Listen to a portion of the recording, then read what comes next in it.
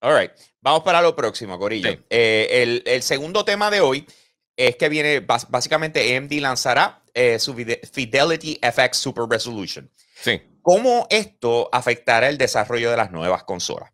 Mira, Explica esto- primero qué significa. Sí. Mira, el, el AMD, eh, el Fidelity FX Super Resolution, esto es el equivalente a Deep Learning Super Sampling, que es lo que estábamos hablando ahorita.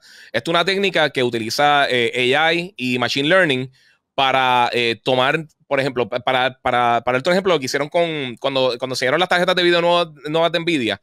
Eh, ellos tomaron algunos, una selección de títulos, entre ellos estaba Death Stranding de PC, y lo que hicieron fue que hicieron el render en, en Death Stranding, no recuerdo si fue 1080 o 1440, y entonces eh, con esas tarjetas te podría, te podría correr en 8K, pero casi a 20 frames por segundo, 20 y pico, no me recuerdo cuánto era exactamente la- el frame rate.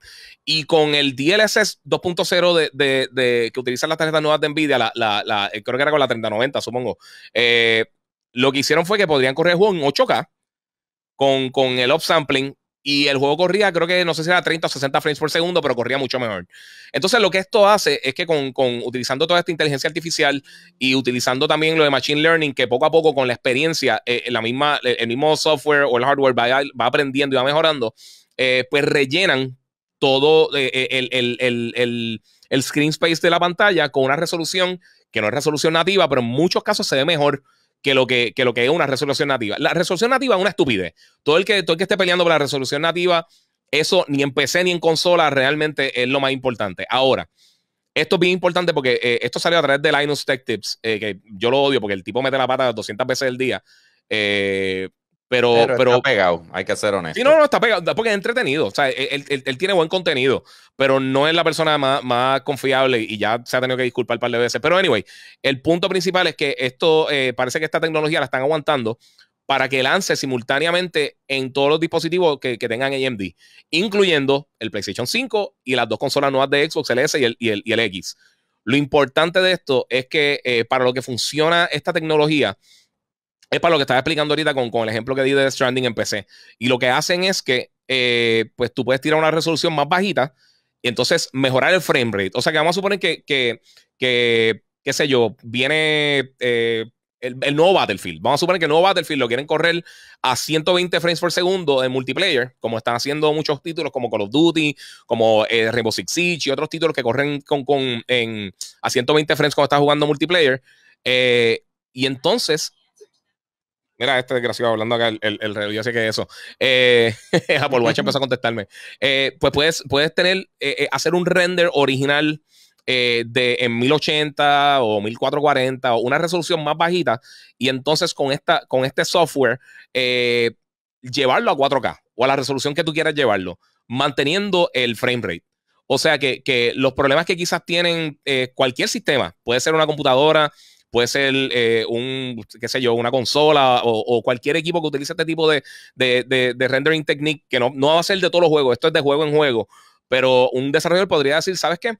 Yo quiero eh, hacer el render en una resolución más bajita, pero entonces el output con, con, con el, con el AMD, con el, con, el super, este, con el Super Resolution, te lo pueden subir a 4K, igual que hacen en DLSS, eh, y mantienen un frame rate estable, no se afecta el frame rate, porque no está tirando una carga tan fuerte para, para el título. En otras palabras, van a lograr que las cosas se vean mejor con menos. Exacto. Exacto, eso mismo. Eh, puede añadir también, puede hacer cosas con mejor frame rate para. ¿Viste? Eh, te presta atención. Eh, para que tú veas. Pu pueden hacer, por ejemplo, pueden hacer este. pueden utilizar también eh, de manera más agresiva el ray tracing.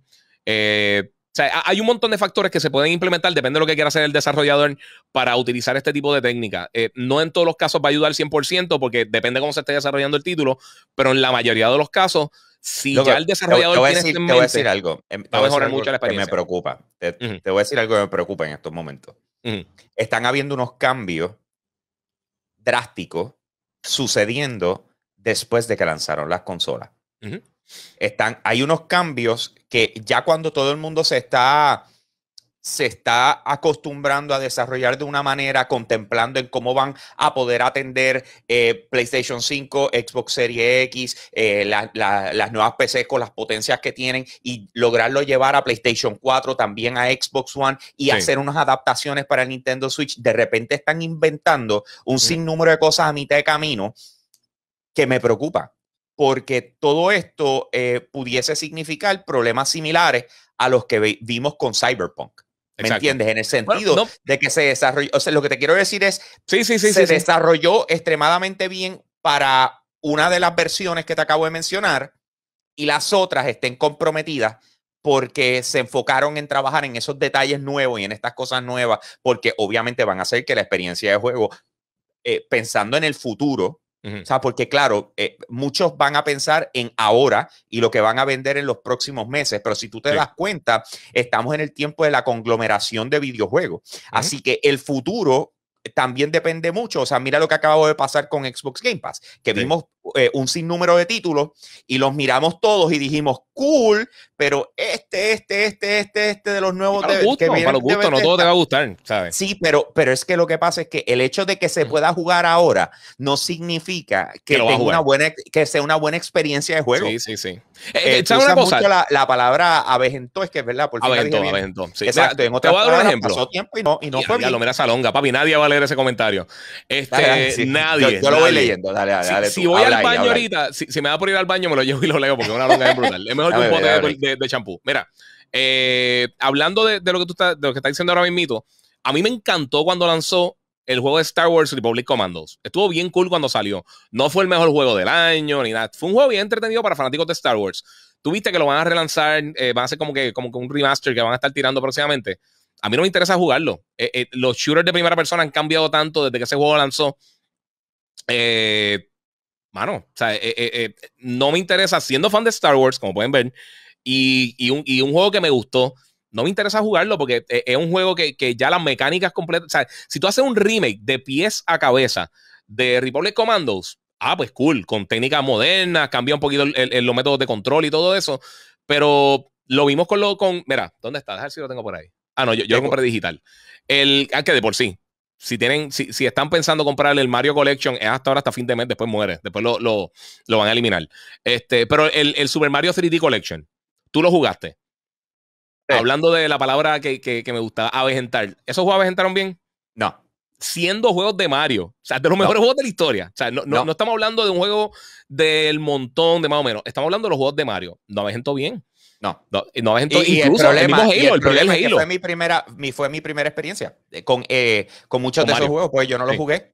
O sea, de, de, ese, de, ese, de esos tres juegos, eh, yo creo que yo no había jugado ninguno de los tres.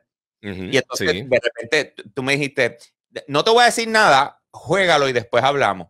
Y después, ah, cuando yo, loco, qué rayos, porque esto, y tú ves lo que te estoy diciendo, tú sabes. Mira, te voy a decir una cosa yo, uno de mis juegos favoritos de todos los tiempos, y es de los pocos juegos que yo, que yo juego eh, y he terminado fácil como 10 veces. es el primer Metal Gear, Metal Gear Solid, el primer Metal Gear para PlayStation 1. Tú nunca lo jugaste, ¿verdad? Claro, sí, ese sí. Ok, pero, pero ese juego, el método de control es horrible, porque estaba hecho para, el digital controller, no estaba hecho ni para análogo. O sea, el, análogo no existía, eh, bueno, sí, el dual, ya existía el Rumble, eh, pero no era... ¿Ah? Lo voy a tratar. A ver si, cabe todo. Ah, no, chacho, no va a caer todo. Es una sí, brutal. Ah, no, no, este, eh, anyway, eh, eh, o sea, Metal Gear, si, si, si alguien es un gamer que lleva dos generaciones jugando, una persona que comenzó a jugar en, la pasada era con el Play 4, el Xbox One, o quizá con el 360 y con el Play 3, en, en, durante este ese periodo, y tú le pones ahora mismo el primer Metal Gear, va a decir, ¿qué carajo es esto? Porque es bien difícil de controlar. O sea, eh, a mí que yo lo he jugado un montón de veces, ya yo sé lo que, lo que me espera en el juego y pues sobrepaso esas dificultades de, que son métodos de control que nadie utilizaría hoy en día eh, para entonces tener esa cosa. Igual que los juegos de Resident Evil.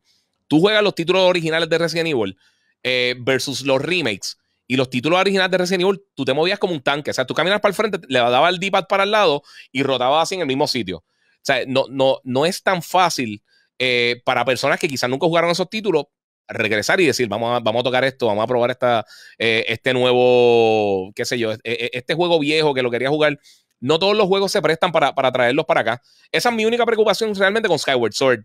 Que el juego no estuvo malo, pero el método de control era un asco con, con, el, con el motion control. Eh, y, y aunque lo van a hacer con el análogo, no sé. y, mira, es lo que dice Denis, Duarte, que es verdad, este, que las pantallas tampoco están hechas para esos juegos. Eh, esos juegos están hechos para unos frame rates bien bajitos. Muchos de esos juegos ni siquiera llegaban a, a, a 480p. O sea, estamos hablando de una experiencia viejísima. Sí. Eh, así que, pues, no sé. Pero, mano, volvemos. una de las cosas que yo creo, y, y, y la longa que estaba complicada, es que estaba complicada el boceteo, maldita sea. Eh, la longa que estaba un poquito complicada eh, leer con todas las cosas que están escribiendo, lo que estaba diciendo era básicamente eso. Lo, bueno de ahora es la variedad.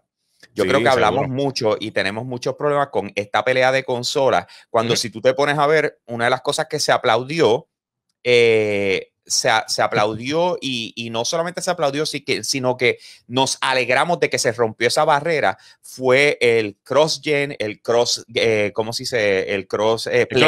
Eh, todas estas cosas que permiten jugar entre consolas se convirtieron en algo que uno dice, contra por fin. Y es a lo que se está moviendo el mundo del gaming. sí, pero, pero, mira esto, y, ahí volvemos a, cuando las cosas funcionan mejor eh, en teoría que, en práctica. En el caso ahora mismo de Apex Legends, en, en, Nintendo Switch, que salió Apex para Switch y todo eso. De show, a mí, siempre me ha encantado Apex. Eso es de los juegos, fíjate, de todos los Battle Royale, yo creo que es el más que me gusta de los Battle Royale tradicionales. Eh, digo, también en Warzone está brutal, lo que es que Warzone son 350 millones de gigas para tenerlo en el disco duro y un dolor, disculpa, un dolor de cabeza. Eh, pero, por ejemplo, ellos tienen la opción de que tú puedas pagar el crossplay. Y es un problema porque si tú estás jugando en plataformas que posiblemente pronto van a tener, van a correr a 120 frames, a 120 frames per second y lo estás corriendo a 30 frames, que es lo más que corre el Switch, con una resolución bien bajita, que no tiene, no, tiene la definición de los detalles como lo tienen otras personas, que ese es el problema con, con, con las diferencias gigantescas de, de, definición. O sea, el, el creo como pasó en estos días con Apex, mano, que estaba como en 400. Eso, en Apex, eso, es lo que estoy diciendo. Eh, eh, o sea, en, en, Apex en el Switch, pues si tú estás jugando contra alguien en PC, te van a asesinar. Tú no tienes ningún tipo de break. Y, lo hemos visto con otros juegos que han llegado para el Switch, que la diferencia en, frame rate masiva o en resolución y con el control también, vamos a hablar claro, porque el control el Pro del, del Switch está excelente. Pero la mayoría de la gente, la mayoría de la gente, yo, yo te apuesto que en los próximos dos años, eh, la gran mayoría, por lo menos cerca de la mitad de las personas que tengan el Switch, van a ser del Switch Lite. Eh, y, Vamos. ¿sabes? no, va a tener, o sea, no, ahí tú ves que no funciona entonces el crossplay. Y lo hemos visto también con otras plataformas, con la, con, con la, la, la, gente que hace trampa en, en, en PC. Eh, mucha gente apagó la función en, en, PlayStation y en Xbox para, para Call of Duty. Eh, también porque, porque la diferencia entre un mouse y keyboard eh, y jugar con un control, sí hay una diferencia significativa en cuanto a la velocidad que tú puedes apuntar y todas esas cosas. Así que, ¿sabes?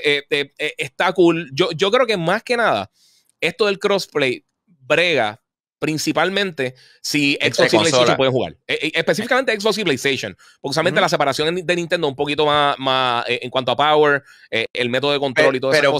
pero volvemos. o sea, tú, tú lo que te estás dejando llevar es por si van a partir o no van a partir a los que estén jugando en el Switch. Ese es su problema. ¿Entiendes? Al final del día, ese es su problema. lo, Pero es algo real. Lo, que está, lo que sí está solucionado es que aunque no tengas mucha gente eh, el Switch jugando, vas a encontrarte con gente en Xbox y con gente en PlayStation. So, eh, eh, lo que yo creo que pudiese ser el futuro es, o apagas consola o, o, perdóname, o apagas crossplay en general o apagas PC. Eh, como opción. Porque yo creo que aquí específicamente PC pudiese ser la complicación en cuanto a crossplay se refiere. Pero anyway, señores, vamos de esa manera a